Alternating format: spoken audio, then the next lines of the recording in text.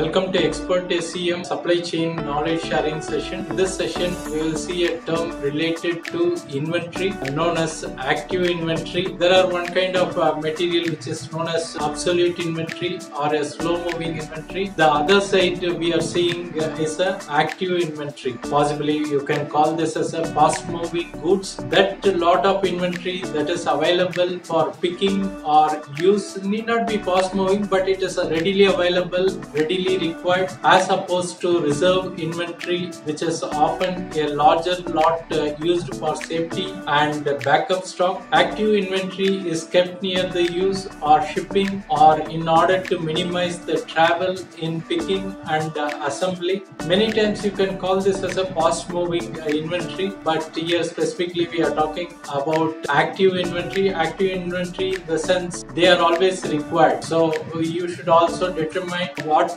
can be the types of replenishment where you can store this item. As you have seen, this item has to be stored either near to the receipt area or to the dispatch area and it should be in a clear area where it can be easily accessed and always uh, stock should be available. Thanks for watching. Bye.